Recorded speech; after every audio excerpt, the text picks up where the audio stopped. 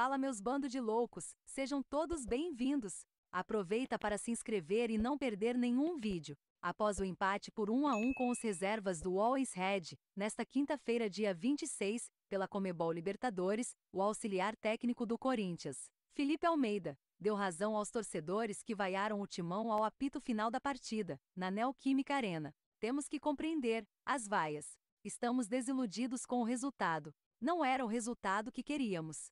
Temos que compreender os torcedores que também queriam ganhar. Portanto, compreendemos a manifestação dos torcedores, afirmou. Estamos tristes, porque não conseguimos o que queríamos. É essa cultura que queremos impor a eles, a de ganhar sempre. Infelizmente, hoje não conseguimos e entendemos seguiu. Temos que entendê-los, pois eles apoiam durante 90 minutos, logicamente, ficaram frustrados e tristes pelo resultado, como nós ficamos. Temos que entender, e como resposta, dar nosso máximo no domingo.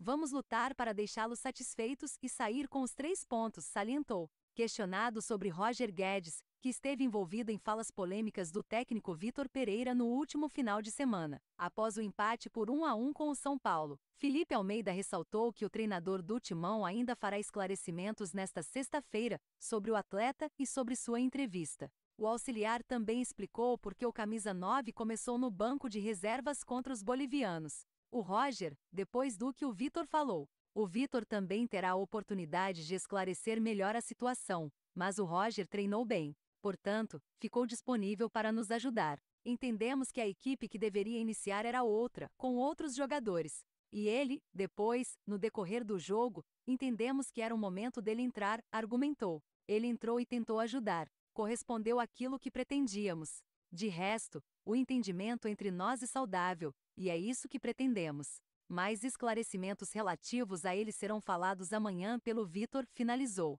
Com os resultados da rodada, o Boca Juniors, que começou a noite fora da zona de classificação, terminou na primeira colocação do grupo e com 10 pontos. Já o Corinthians avançou em segundo lugar, com 9 pontos, enquanto o Deportivo Cali acabou em terceiro, com 8, e vai à Copa Sul-Americana. O Always Red ficou na lanterna, com 5. O que acharam? Deixe sua opinião nos comentários. Até o próximo vídeo, fiel torcida!